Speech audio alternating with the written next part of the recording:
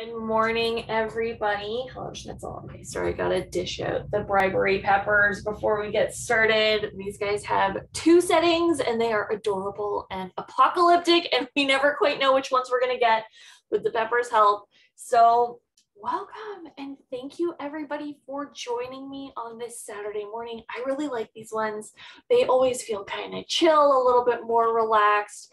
Um, and so these are always my favorite in case you wanted to know, um, you wanted to come and join me sort of our chill day. And of course, we've had the previous webinar, so we've got all those questions and comments that have rolled in. And of course, you just get the answers to those here. So before we get started, everybody hop over to the chat box. So it looks like that little chat bubble. And I want you to look for that blue button and I want you to switch it from hosts and panelists to everybody. And the reason that I want you to do that is if you have like a question or a comment um, during our talk together, um, you can just drop it in there and I'm gonna like loop back. I'll keep an eye on it while we're talking to one another. Um, and I'll, you know, it's just sort of a way that we can interact with one another. I know this is always kind of like focused outward from my point of view. I love interacting with you guys. If you want to shoot me a hello, let me know where you're from. I love sort of seeing where you guys are coming from, from all over the world, because you guys are from everywhere. I have talked to people from Guam. I have talked to people from the US. I've got Canadians in here, of course. I've got um, people from New Zealand. I know I have people from Australia. So like shoot me a hi, let me know where you're from. I always like to know sort of where we're reaching each other. Um, so yeah, we are here today to talk about the five reasons that you might be struggling to manage your IBS symptoms. And if we haven't met before, because um, again, I know you guys come from kind of everywhere. My name is Amy, and I'm a Monash certified um, IBS health coach and nutritionist. And what I do is basically create a clear and simple strategy for people who are struggling to figure out the right path for their IBS. I know it can feel sometimes like you're trying a hundred billion different things, or you've tried literally everything and you just can't seem to get your symptoms under control. My idea, uh, sort of my role in your life is to really take that burden off of you and help you sift through all of the information that's coming at you. And we'll talk a little bit about the information you might be receiving today, um, but really to just sort of clarify and find those few simple things that are really game changers for you and how to build them into a plan that feels automatic and just kind of the way you do things instead of what it might be now, which is trying to remember to jump through all these hoops during the day. So today we're going to be talking about these five reasons that you might be struggling to get your IBS symptoms under control. And the first one is that you're focusing only on food. And this one is really important. So first of all, I want to say that it's totally normal that you would be focusing on food. Let's just take one second to normalize that for you. Okay. So you are being bombarded with information about like you know eat this not that. You are being given lists of soluble and insoluble fiber to manage your ibs symptoms. Um, you know you're being told by everybody like oh like you have to eat in this method or you have to follow this diet. Like it makes total sense that our focus is on food. We also eat food all day. And so it makes sense that our brains will be kind of connecting for us like hey like you ate that thing and then we had symptoms. Like it makes total sense that like those grapes are evil. Um, and so you know we're cutting those out of our diet and then we eat something else and we get symptoms and we cut that out of our diet and we eat something else and we get symptoms and we cut that out of our diet. Um, and it can sort of create this cycle where things are coming out and nothing's coming back in and you're not really getting that symptom relief or you're getting symptom relief for like a little while, but then it just swings back and you're like, okay, well, like now what am I eating? And part of that problem is that we do eat all day, um, and our brain is a terrible detective. And so our brain is really trying with the most positive intentions for us to keep us safe, keep us feeling well. Um, but it can only think back so far. And so it's going to pick something within like the last two or three meals that you've eaten to sort of pin as the culprit. Um, and we are hardwired to believe our brains. And so it makes a hundred percent sense that we would be focusing only on food because that is what society is telling us, right? That might be what your um, nutritionist is telling you. That might be what your GI has told you. It's what the entire internet is telling you. Um, but you're a whole person right? We're not just going to pull your guts out of your body, right? We're not just dealing with your guts here. We're dealing with you as a whole person, as a whole body, if that makes sense. And so some of the things that we want to think about are like sleep, uh, stress. We want to talk about um, baseline IBS hygiene. So when we're talking about sleep, I know everybody's like, well, like get, get more sleep. Um, and that's really easy to say, um, especially if you're not talking about sort of what that means, like get more, get a higher quality. Um, but the important part about sleep, like first of all, we don't even understand all the things that sleep does for us, right? We know that it's like critical, it's mission critical to having a functioning body. Um, there are two things that we want to think about with sleep. And the first one is um, sort of quantity. So we want to make sure that we're getting the right amount of sleep cycles because we sleep in these little, they're about 80 minutes to 120 minutes. It's different for everybody, but your body has to do these cycles. They're like dishwasher cycles. Um, and I don't know if you've ever woken up in the morning and just feel like you've been hit by a train or you're just kind of like, oh, like I don't know how I'm going to function today. You probably woke up in the wrong part of that cycle because we wake up and we go to sleep in light sleep. Um, and so if you're in REM sleep or you're in like that really deep sleep, that is not a great place to wake up from and you're gonna you're gonna feel that. Um, so you have the sleep quality is like the number of cycles that you need um, and then the sorry that's the quality or sorry the quantity and then the quality of, of course is making sure that these are condensed. So we call it consolidated sleep, where you're having these cycles one after another, um, instead of like when you're waking up in the middle of the night and you're having trouble falling back to sleep. So they're kind of happening in chunks, or um, you're sort of staying in that light sleep and you can't fall into these deeper kinds of sleep, which is where our body does a lot of its maintenance tasks. Um, and if our sleep is not the best, if our sleep is poor quality, um, this has a huge impact on our bodies. Um, and that has a huge impact, of course, on our IBS. So some of the things that we want to think about when it comes to sleep are the circadian rhythm. And so the rhythm is sort of like a 24 hour clock that our bodies run on. It's called the master clock. Um, and this is in charge of regulating our hormones because we have a lot of hormones, like it's in charge of many things. Um, but one of the main things that it does is it sort of does this orchestra of hormones for us because our hormones ebb and flow throughout the day. They also ebb and flow flow throughout the month. Um, and this is how our body sort of does all of its processes. We have chemicals to tell us it's morning, you have to wake up. You know, that's kind of why you start perking up around, you know, like that, that 10 to one, you start perking up. Those are all of your fun hormones. Um, and then you start, you know, getting a little bit like quieter, a little bit more restful as you're sort of getting into the darker area of the day. That is your body gearing up for sleep. Like that is like a three hour process before you even get into your bedroom to go to sleep. Um, and so when this system is off, one of the um, sort of pairs of hormones that are deeply impacted are your hunger and fullness hormones, which are leptin and ghrelin. And so I don't know if you've ever had a poor night's sleep and you wake up and you just are like eating everything and it feels uncontrollable and you're not even 100% sure if you're hungry, but like stuff is just going in your face. Um, those are those hormones being sort of out of whack. You can also be very irritable because we have chemicals um, sort of in our brain are off. You might find that you are easily agitated or irritated. You might find like, I don't know, somebody like drop something and you kind of jump. Um, this is because our fight or flight uh, sort of system is being activated and it's because our reflexes are off. And so our body is being hyper vigilant now about keeping us safe.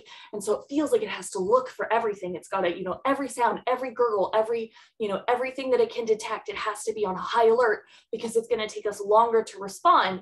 And so we're just sitting there waiting to respond, right? We don't have to power up. We're just ready to go. Whenever this bear comes to get us, like we're on it. Um, so all of these things are impacting our IBS because if you're eating bigger volumes of food throughout the day, right, you're just, you're craving carbs, you're craving, um, you know, sweets, you're craving caffeine, we're going to end up with larger quantities of these foods in our digestive tract and having large volumes of food um, can be very stressful for our body. And this can sometimes trigger things like bloating. It can trigger cramping.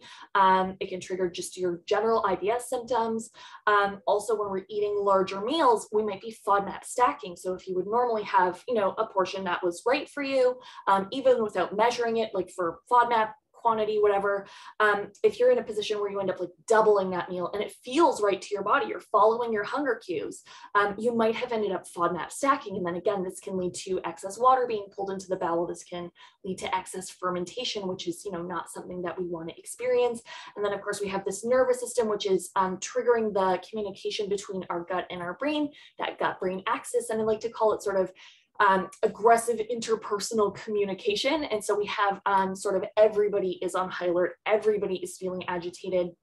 So even if you were eating a normal diet during the day, even if you were, you know, managing your FODMAP stacking, all of those things, when our nervous system is on high alert, things that might feel normal to you or might just be like mildly uncomfortable to you because this system is on high alert, it's being hyper vigilant. Um, those messages may be traveling differently through um, your um, through your gut brain axis. And so you might be experiencing sort of a larger response to those. So the same kind of thing goes for stress management. We have our entire nervous system is involved with that, right? Our whole body is involved with that. And so when you're feeling stressed out, again, your sleep might be off.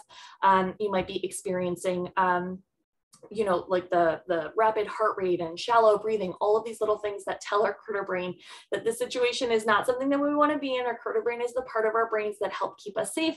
Their whole job is to keep us alive and feeling well. Some people call it the lizard brain. It's that primal part of our brain that's whole purpose is to keep us alive and functioning. And so when we're in stressful situations, whether that's we didn't sleep well, or our boss is yelling at us, or we're late for an important meeting, um, this is going to, again, activate that fight or flight system where we have, you know, blood is being pulled out of our organs. And so now our gut is not functioning um, in an efficient way, or we might stop digesting and then we have food just sitting in our guts. And of course, if you've eaten something that's highly fermentable, now that means that while it's sitting there, it's going to just continue to be fermented until it's allowed to leave the digestive system. Okay, so when we talk about stress management, and I know that that's really easy to say from this side of the screen, like manage your stress, like you haven't considered managing your stress already.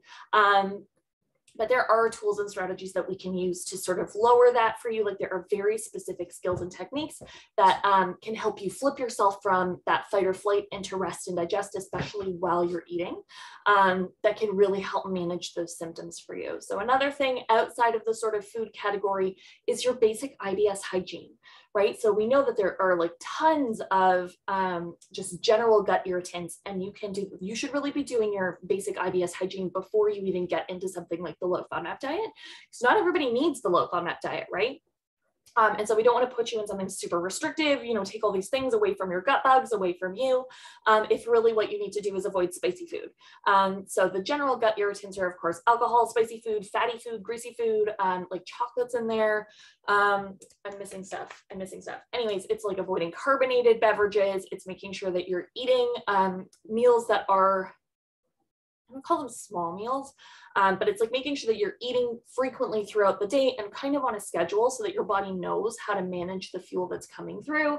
Um, we want to make sure that there are not large periods of fasting, but also we want to make sure that there are not periods of grazing because then um, we have issues with the migrating motor complex. So it's kind of the dishwasher cycle in between your meals.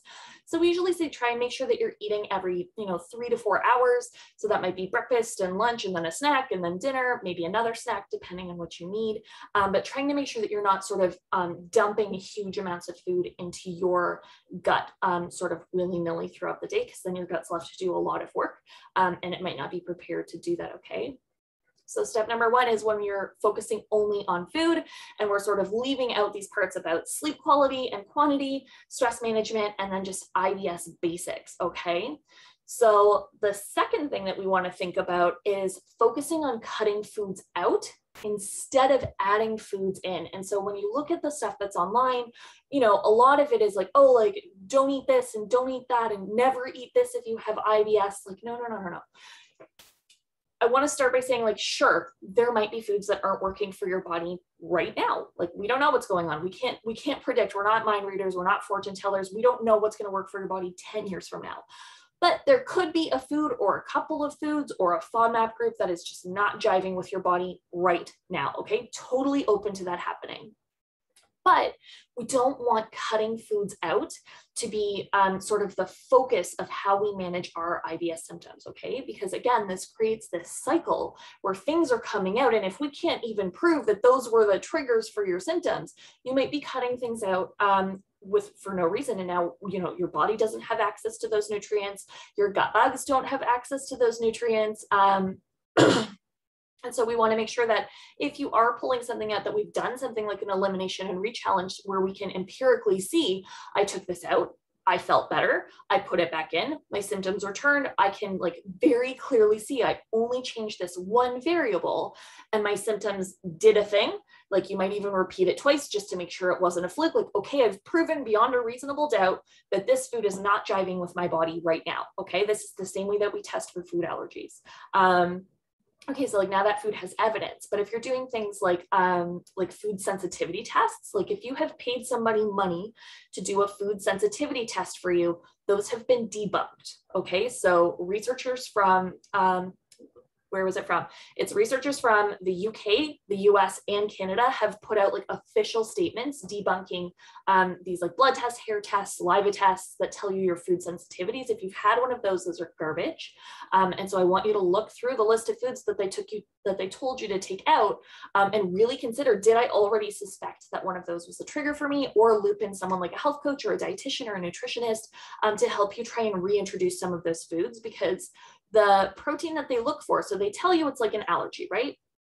If you have an allergy, um, a specific antibody is released in your body. So you do like a blood test, you see the antibody, and you're like, cool, um, this person is allergic to peanuts or this person is allergic to shellfish. Um, and these these food sensitivity tests are based on the same premise where they're going to do like a blood test or a hair sample and they're going to look for these antibodies um, that have tagged these specific foods um, and then the tagging of them right like stamping them with a little barcode is going to tell you that you're sensitive to those foods. Um, the problem is now that we understand more about how our immune system works it turns out that those particular barcodes are more like the kind of stamp that you would get if you like went to a concert right to say that you paid so you've really just been stamped and it's saying this, this food is free to come in and out as it pleases. Um, and so you basically have a grocery list of foods that you've eaten recently. And so this is one of the reasons why if you're looking at the results of these food sensitivity tests, um, many of my clients have found that it's mostly their safe foods and they're devastated. They're like, well, what am I going to eat now? Because I was down to this pool of 10 foods and all of them are my highest triggers. And that makes total sense because if you're only eating 10 foods, of course, they're going to be in your body in a huge amount and they're going to have, you know, lots of stamps. And so they're going to come out on this test showing is that you have a very high um, sort of level of these antibodies for this food. Um, so all of that to say, instead of focusing on taking things out, often it is more effective to focus on what we can bring in. And one of the reasons is because we need diet diversity for our microbiome. These guys are picky eaters. They're like toddlers. And so we need to present them with a huge variety of food in order for them to be able to have what they need. Okay. And so if we're constantly pulling stuff out, we are also um, sort of shortening the pool of foods that they have access to. And a healthy microbiome, like we're learning that these are making short chain fatty acids for us. These are helping support our immune system either by signaling the immune system to come in. They also have the ability to kill some pathogens in our um, sort of gut themselves. They help us um, like they help us absorb specific vitamins and minerals that our bodies can't digest on their own. So they can't pull them out from our um, intestines into our bloodstream. They can only absorb them as a byproduct. So like a gut bug has eaten these vitamins and it sort of poops them out and we can absorb the poop just fine, but we couldn't absorb that raw mineral. Like there are so many jobs that our microbiome has, like they help us maintain our gut, um, sort of like the mucus barrier in our gut. Um, and so we really, really need them to stay healthy. And many of my clients find that um, the more food we're able able to add in over time. Like they'll email me back months later and be like, oh my gosh, like I can eat all my FODMAPs now. Um, and it's because my my gut is functioning in such a way that, you know, my my buckets just keep getting bigger and bigger and bigger. And I really can eat whatever I want now, or my symptoms are just level and I don't have to think about them anymore. And it's because in adding more food to your diet, we've actually helped support your body enough that it can sort of overcome one of the obstacles that it was facing before. Um, and that's not to say that it's a cure for IBS. Currently, there is no cure for IBS, and that's because it's not a structural issue, it's not a chemical issue, um, and because we can't pinpoint and see that it's there, we also can't see that it's not there anymore, um, which is the definition of a cure. Um, but I've had tons of clients go into remission, um, and that is good enough for them. And a lot of it is just making sure that they are staying healthy, that they are adding all the vitamins and nutrients and minerals and things that they need to keep themselves and their microbiomes happy. Okay, so Another part about pulling out foods constantly is that we might end up leaning on foods that we're not realizing are contributing to our symptoms. And that's because it can take anywhere from like four to 12 hours. I've had one client who ran on a 24 hour cycle for her food sensitivities. Um, and so if you're eating something and your brain is like, it was those grapes that we ate two hours ago, and it's really something you ate 24 hours ago, you might end up with a pool of foods that you think are safe for you because you don't, you never eat them and immediately have a reaction. Um, but because these are making up a majority of your diet now, um, they can cause a ton of problems and you won't be able to pinpoint them unless you know how to do like a methodical and systematic food test in order to check like what is actually bothering me um, so one of my pet peeves when um, like i went to i went to my gi um, I, I, have clients come from their gis i have friends come from their gis um, and they come out with the advice like eat more fiber. Um, it just drives me to insanity because there are like seven different types of fiber and like i don't expect you to know what they are. That's not your job um, unless you work sort of in the food health industry. Like that is not a thing that you can really Google unless you know what you're looking for. Um, and so here is your heads up that too much fiber can actually make constipation worse. Okay, so if you are just like jamming yourself with fiber and you're like, why isn't this constipation getting any better? Or you're noticing that you're even more bloated or you're having more abdominal pain or, you know, it seems to take even longer to have your bowel movements or you're, you know, you have to strain even more. It could be that you have too much fiber or it could be that you're eating the wrong type of fiber or it could be that you needed a clean out first. And so you are eating the right type of fiber, um, but it's getting stuck behind something else. And so we really have to clean out the first part and then reassess um, sort of what type of fiber is um, appropriate and right for your body, right? Because what is healthy and right for one body is not necessarily healthy and right for you, okay? So another thing is that I have a lot of my um, diarrhea predominant clients come and they just keep taking out fiber. Like salad doesn't work for me, vegetables don't work for me. I, I can't eat this, I can't eat that. Um, and there are actually a ton of fibers that are specific for diarrhea um, and they will actually help relieve your diarrhea. And so sometimes by taking out certain types of fiber um, you're sort of robbing your body of an opportunity to right itself right? Like so there are tons of different things that we can eat that will actually help um, either remove excess water like it'll absorb it and turn it into a gel that like now it's more of a formed stool.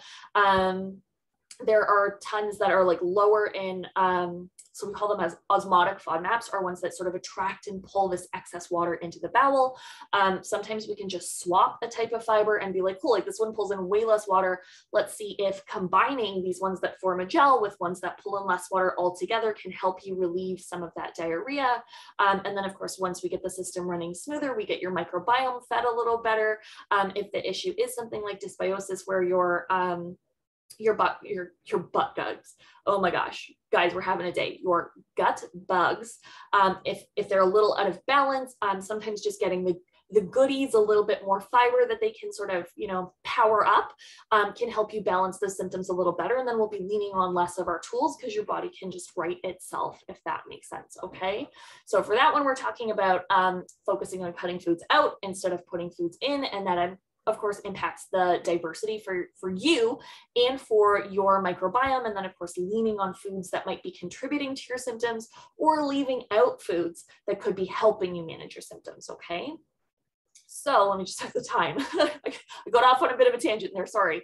Um, so number three is that we're not addressing mechanical issues. Okay. So again, not everything has to do with food. You're a whole person. There is a whole body in and around your digestive tract that could be impacting um, your experience of having IBS. Um, so one of those, and it, always takes me two times to say this, um. Oh, I got it on the first time. Dyssynergic bowel movements. And so these are uncoordinated muscles, okay? And so this might be that you've had like a, a bowel surgery or you've had some sort of bowel injury or you've been struggling with like chronic watery diarrhea or you've been really struggling with constipation, lots of straining. Um, our gut muscles can lose their um, sort of flow, right? So when we have these peristalsis waves, which is how our body moves food from sort of one you know, from, from your face to your butt. Um, we do them using peristalsis waves, which are a coordinated wave of muscles that sort of squeeze it like a tube of toothpaste from one end to the other. And if they're not coordinated, um, it makes it very difficult for our body to sort of do its normal function. Um, another issue is par paradoxical muscle contractions. Um, and I always think this one is cool. Um, the people who are experiencing it think it's less cool until we've corrected it. Um, but basically what paradoxical muscle contractions are, are um, so when we talk about the pelvis, there's like the floor of the pelvis and the sphincter that we have conscious control of. So it's like the last door before, you know, our poop hits the bowl. Um, this one is supposed to relax. So everything squeezes in our bodies, right? We're like, okay, we're gonna poop. Like, okay, like, uh, poop. Um, this one is supposed to relax. And when we get this paradoxical muscle contraction, this door ends up closing tighter and it thinks it's doing a great job and it's helping. Um, and that door is just shut. And so we can't poop. And it doesn't really matter how much you strain and how much you breathe and bear down and all those things. That door is like slammed shut. Um, and so this can be fixed with things like biofeedback. This can be fixed with things like deep breathing and like consciously relaxing our muscles. Like this again is fixable, um, but you're not going to fix that with diet, if that makes sense. Okay. So another issue is reduced muscle tone. And again, this can happen if we're chronically constipated. If you are constipated from one end of your colon to the other end of your colon, it doesn't leave a lot of room for your muscles to contract. And so they might lose their tone. It's very similar if you're having chronic watery diarrhea and if stuff is sort of doing a slip and slide through your body, it doesn't need a lot of muscle contractions in order to do that. Um, sorry. Um, and so we might lose some of the muscle tone, that's okay. It's exactly the same as if you were sick for a couple of weeks and you get up and you're trying to go to the gym or something, and you're like, whew, I can feel that I have not been to the gym in a while. Doesn't mean that you're not going to build up that strength again, but you kind of have to take it at your own pace. You might need to, you know, put your weights down for a minute and you know try something a little bit lighter totally cool but we do need to be conscious that if your muscles have not been able to contract the way that they would normally be contracting you might need to build up a bit of muscle tone um, in order to have productive bowel movements regularly if that makes sense um, Another thing is like digestive hygiene, which is a little bit different just from IBS hygiene, but this is really how you're eating your food. Okay. So many people do not chew their food properly. It takes the average person three chews to chew their foods, and that is that is not enough times, is, is to put it lightly. Um, you should be chewing like 20 to 30 times. Anything you put in your mouth should feel like applesauce or soup before you swallow it. So like obviously you don't have to chew soup 20 times. Um, but the reason that we need to chew things so many times is obviously because mechanically we're breaking it down. But also when food is in our mouths, we have um, like we have enzymes for breaking down carbohydrates. And so those are all getting sort of broken down and dissolved right in our mouth. We have enzymes for unraveling protein so that the protein is ready when it gets into our stomach to be broken apart by different enzymes. Like there are things that um, help us identify like fat and break that down. Um, sort of our brain is keeping a catalog of what we're eating so that it knows what to get ready kind of down the line. It's keeping track of how much food it thinks we're going to have so that the peristalsis wave is triggered and we can make enough room for everything that we're eating. So there's a lot of stuff happening while you're chewing. We also want to make sure that we're eating slowly um, and that's to give us enough time to hear our body's signals about like, okay, I'm fully got to stop because like I'm getting uncomfortable or I'm still hungry, like we're going to need more food or I'm not feeling satisfied, um, which is an indicator sometimes that we need a little bit more healthy fat um, to sort of cap off our meal in order to make sure that we have all of the nutrients that we need. Um, we want to make sure that we are eating mindfully so that we're staying in that nice relaxed state because we don't want to eat in that fight or flight because remember that's drawing wa uh, water, it's drawing uh, blood away from our digestive tract, which makes it very ineffective or will shut it down. And so, of course, we don't want to be pumping food into our digestive tract if it's not on. That's never good.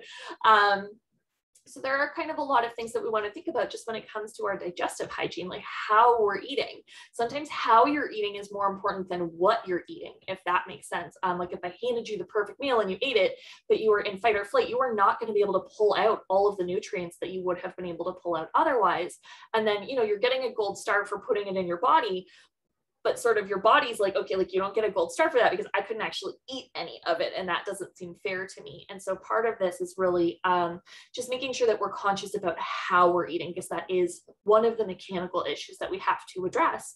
Um, if we're going to get your body under control in a way that feels automatic, it feels like just the way you're going to do things. So you're not constantly jumping through all of these hoops, if that makes sense. Um, so for mechanical issues, we have those dyssynergic bowel movements, we have paradoxical muscle contractions, we have reduced uh, gut muscle tone and improper digestive hygiene. And there are more, like I could go, I could do a whole webinar on these, um, but those are the top ones that I tend to see in my practice. And again, those are all things um, that we could talk about. Those are all things that we can connect you to people for. These are all things where there are, you know, steps that we can take. But again, if you're focusing only on food, you're not going to be addressing any of these things, if that makes sense. Okay. So number four, and this one is a tricky one, and it's that you're following contradictory advice. And I just want to take one pause here and say, this is not to like blame or shame you or say like, why are you doing that? That's dumb. Like, no, this is not what we're doing here. Um, it makes perfect sense that this is happening. And I have not had I have not had any clients, I think, so far who weren't who weren't following contradictory things. Um, and the reason is that most of us are told to Google stuff, honestly. Um, and again, if you don't work in this field, I would not expect you to know what is right for your unique body, right? Because IBS sits in each one of us differently, and you can't Google that unless you kind of know what you're dealing with.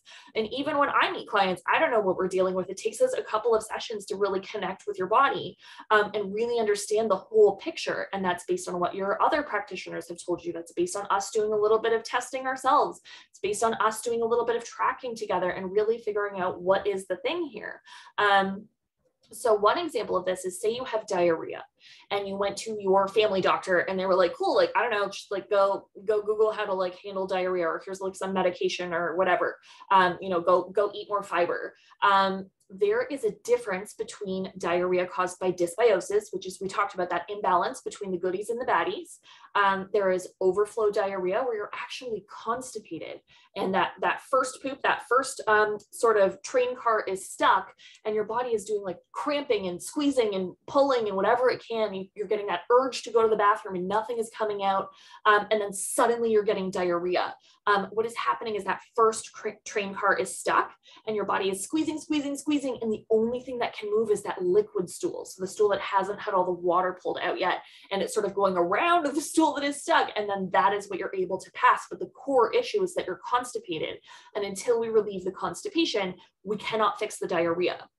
Then we have another one, which is the FODMAP style diarrhea, which is that there's a food that's just pulling excess water into your bowel and your body doesn't have the capacity to pull enough water out before you need to go to the bathroom, okay? So if we were to approach all of these the same way, only one person would be successful following that advice right? And so you know you might come in thinking like well the problem must be my body or i must be dumb because i'm following the instructions and it's not working. So like i don't know how to do this any differently or my doctor must have been you know sort of like scooting me out the door and and i'm on my own.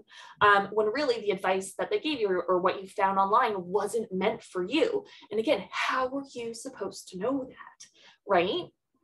So the problem if you're following advice and it's not for your body is that first of all you might not see a change right? You're doing it and nothing is changing. So like why am i doing this every day? Or you could continue to do it not seeing a change hoping that like it just needs a minute to click in and you've wasted a lot of time when you could have been doing a strategy or using a tool that worked much better for you. Another alternative of course is that your symptoms get worse right? Um so i mean that that one's pretty self-explanatory. It feels like so you're, you're following a tool it's not meant for you your symptoms are getting worse and now we have you know a second arrow of harm. Where there was the first issue right so i was constipated or i had diarrhea and that was uh, like an issue that needed solving and then i put in this piece of advice and now i have a second issue. So i've got a second arrow that i have to deal with now um, or a second source of pain. Um, and so we definitely don't want that. Um, the other problem, and this one just breaks my heart when we find it, um, is that if you're following two conflicting pieces of advice, one of those pieces of advice might have been perfect for you. Um, but because we're using another tool as well, if that tool is one of the ones that makes your symptoms worse, or if that one is one of the tools that is kind of throwing your body out of whack or off balance, you might not know that one of those tools was perfect for you. Um, and so then I have people who come into my practice and they're like, I've literally tried everything. I've tried every single thing. Um, you like you name it, I've tried it. Um, but there was a piece of information missed sort of in all of the chaos that your body was experiencing in that moment. Um, and so that's why part of um, part of IBS management, part of digestive, you know, these functional gut disorders is really taking things in a methodical way, like almost the slower the better, changing one variable at a time so that you try something, it didn't work, or it made a little shift. And like, can we improve that? Like, is there a way that we can layer another thing on top of that that's going to make both of these fantastic? Can we swap that out for something that's going to get you more mileage so you're still only doing one thing? Or is there like, we're just going to drop this one and move on? Um, but we know for sure because we're just changing the one variable at a time. When we hit that tool, that's like the thing. And you're like, well, I just have to do this one thing now. And that's fantastic. Like I had one client, she came to me, her symptoms were terrible. She'd had them for four years. 40 years she lived with these symptoms. Um, she needed to manage her calendar better, like her social calendar. It was the only thing she needed is she was getting really overwhelmed. She was getting burned out. Her nervous system was getting fried. Um, and so we talked about balancing her energy like a bank account right? Like, do you have a budget for how you're managing your time? And so she kind of started budgeting things out and her entire body simmered down. Suddenly she could sleep. Suddenly, you know, she was able to go to bed on time. She was having consolidated sleep. Um, you know, um, we had her like she wasn't getting weird cravings in the middle of the night. And so she wasn't eating too much um, sort of volume of food right before going to bed, um, which is part of your digestive hygiene. So like just this one thing of being like, how am I going to budget my time, my energy better, shifted her entire experience of living in her body. And it wasn't even like, oh, I can only do one thing a week. Like she has that stuff managed and she's doing everything she wants. She's living her best life, but it was like one piece. And it was kind of funny in that case. But I've had one client who was taking her medication at the wrong time of day sent her to her pharmacist. Her pharmacist was like, oh, like you should be taking that at night because then you get to sleep through the part that doesn't feel nice. And she's like, oh, like, that was fantastic. Um, so sometimes it's something really, really tiny. And it's hard to tell when you're in pain or you're not feeling well, or you've got like these 15 things that you're doing. And it can be really helpful to have some from someone from the outside um, especially if they've done this a couple times before, um, it can be really helpful to have somebody come from the outside listening for the things you already know, if that makes sense. So you come in like, I haven't had a client yet who hasn't told me what the problem is. They come in and they're like, oh, I think, I think it might be my medication, or I think I might not be sleeping well, or I think I might have a problem with wheat. Um, every single time somebody just sort of says something off the cuff, I like write it down, and a couple weeks later, it often turns out that that was exactly what the problem was. Um, so you probably know what the issue is already. You just don't know that you know, if that makes sense. Or there's too much stuff happening around you, or you're trying to balance too many things, or your symptoms aren't level enough that you can actually hear what the problem is. Um, and so, like I said, um, this following contradictory advice, like it, it can just end up being like layers and layers and layers and layers of responsibility on you. Guarantee there's like one or two things that are going to be a game changer for you, and you might be doing them already, or you might know what they are. Um, and all we have to do is take everything else in a way that is not going to like shock or freak out your body. Um, is not going to dismantle anything that you're doing. Of course, we always follow your doctor's instructions. Um, that's always very important. Um, if you're doing this on your own, like don't just be like, man, I'm just going to stop doing everything. Like, no, no, no. always call your doctor if you're going to change something that they've recommended or your dietitian or anything. Um, but yeah, odds are either you know what the thing is and you just can't hear it or you can't see it yet because there's sort of, you know, like a chaotic kerfluffle happening around you um, or you're going to be able to find the thing that you're doing um, when we get everything calmed down and we start doing things really systematically it, it often happens very very quickly that you can find what the actual problem is um, so number five this is our final point um, is either you don't have IBS, so that's like a misdiagnosis, and it doesn't have to be anything nefarious. Um, so you might be misdiagnosed, or through all of the tools and strategies and things that you've been trying, all your hard work and all the energy that you've put in, your IBS symptoms are under control. And what's left is actually something else, right? And those are the symptoms that you're seeing. Um, again, this can be tricky if you don't have the technical skills to like separate out what is an IBS symptom versus what is not an IBS symptom. Um, but I've had a couple of clients now where we've actually gotten their IBS symptoms completely leveled. Like come in and they're like, I need help with cramping, I need help with bloating, I need help with, you know, constipation or diarrhea or whatever. Um, and we've gotten every single symptom fixed except for one symptom. And I'm like, hmm, that's curious. So we go back to their doctor's office and it turns out that they had IBS and something else and they need like an antibiotic or they need, you know, like I had one client who had low stomach acid and needed help with that. Like, um, but it can be sometimes sometimes it's not that your IBS isn't shifting sometimes it's that your IBS is totally under control and because again all of that chaos has like sort of lowered we've lowered that white noise for you you can actually see something underlying. And sometimes that's actually the root cause of your IBS to begin with. And so we've got all of these tools going. Um, you know, we've got in your toolbox things for like emergencies, things to prevent flares, things to like keep going day to day so that you can run like the life you want to. You can just go out and be yourself.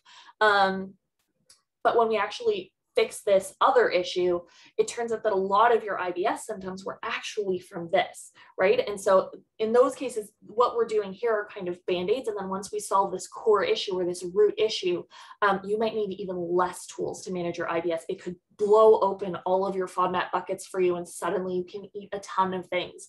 Um, and so when I talk about these secondary issues, um, I'm thinking about like SIFO, which is small intestinal fungal overgrowth. I'm thinking about SIBO, which you might have heard about, which is small intestinal bacterial overgrowth. There's the new kid on the block, which is my favorite, IMO. It's intestinal methanogen overgrowth. And then we have things like H. pylori, uh, bile acid malabsorption or bile acid diarrhea, which we call BAM or BAD. Um, I found a client who had just back pain, um, and it turns out that once we got her IBS under control, um, she had like an issue with her spine that was finally addressed. Like she had it for years. We hooked her up with a great chiropractor. She's feeling so much better. Um, my symptoms were actually caused by endometriosis, which was crazy. Um, I've had clients who were having actually reactions to their medications or supplements and we got them swapped out for something else. A one client who like could not do her fructose challenge because every time she was using mangoes, every single time she's like, yes, mangoes. And every time she would do it, she would fail. It turned out she was allergic to mangoes. Um, so like I was trying and trying to get her to do a different food anyways, there are a ton of reasons that you could be having symptoms where your IBS is under control and what you're seeing is actually something else. And so while you're feeling like you're, you're having trouble getting control of your IBS, um, I want you to be open to the possibility that there might be something else there. And like a doctor or a health coach like me can help you put together a history of like, so here's what you asked me to do, right? Here's what I did here's what shifted, here's what didn't shift, your turn, right? Or like, here's what's left, your turn. And then sometimes this is how we discover these other things. Okay. So just to recap what we talked today, uh, what we talked about today, because I know we talked about um, a lot of things. Um, is we had the five reasons that you're struggling to manage your IBS symptoms. And those are one, focusing only on food. Two, you are focusing on cutting foods out instead of adding foods in three, you're not addressing mechanical issues. And so those were like the um, uncoordinated muscles, the muscles contracting when they're supposed to be react, uh, relaxing. We had the reduced gut muscle tone. We had um, improper digestive hygiene. So that's like how you eat your food. Then number four was we had your following contradictory advice. And then number five was you either don't have IBS or your IBS symptoms are under control and the things that are left are actually something else. Okay. So, um, does anybody have any questions before we close for today? So I'm going to leave a little space in case somebody needs clarification, unless some, uh, in case somebody has something they want to ask. And of course, if you don't want to ask it here, you are more than welcome to ask in the Facebook group and I will do a little video for you. Um, you can also email me and there might be a post about it or a YouTube video. Um, but I do want to let everybody know before we go, I'm just going to drop a link in the chat um, I do have two spots open in my one-on-one coaching program right now. And so if you think having me as like your sidekick or your partner in crime, or you just need help or an accountability partner to really sort out the low FODMAP diet or to kind of figure out um, how all of this works like if you are feeling like you're you know doing 100 tasks and nothing is working for you if you do feel like you know you've tried everything your body's not broken okay, you are not unfixable. I have had so many people come through my program saying, this is my last little bit of hope. Like if this doesn't work, I'm dead. Um, and I haven't had a single person who's come out saying that this wasn't worth every penny. This wasn't like a fantastic experience. They just go out and live their lives. Um, so if you need help, if you are like tired of feeling like IBS is running your body instead of the other way around, if you are looking for so, like just feeling comfortable in your own skin, you want that peace of mind that you are not, you know, living your life like where is the bathroom or i'm afraid to leave or i don't know sort of what is going to be the next thing that wrecks my body i would absolutely love to invite you to a free my body my rules empowerment call. During this call all we're going to do is figure out what ideal health look, looks like for you because it looks different for everybody. We're going to figure out the number one thing that's keeping you from getting there. So, what is that obstacle for you right now? And then we're going to decide what is the most powerful action step that you can take to sort of collapse that universe and get from where you are now to where you want to be. And you are going to leave this call feeling excited and energized because not only are we going to make it really crystal clear for you um, what you want, um, you're going to come out with an exact game plan for how to get there. Okay. So, if that sounds like something that would be helpful to you, I would love to talk to you. I've got calls open today. I have a couple of calls open during the week, but again, there's only two spots and they're first come, first serve. So I left the link there. If you're interested, definitely submit an application form. Once you hit submit, there's a link right there that you can book in right with me. And I look forward to meeting you. Okay. So thank you again, everybody, for coming today. I really appreciate you giving me some time on your Saturday morning, and I will see you later.